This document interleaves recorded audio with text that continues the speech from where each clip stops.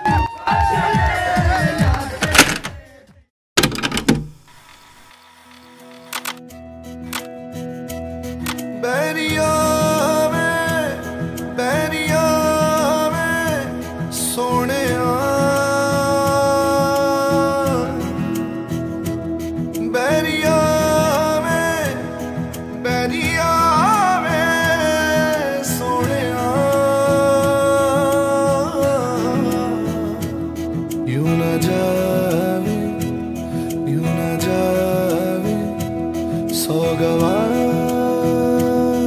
ਕਰਕੇ ਮੈਂ ਤੇਰੀ ਜੋਗਣ ਹੋ ਗਈਆਂ ਪਿਆਰ ਵਿੱਚ ਰੋਗਣ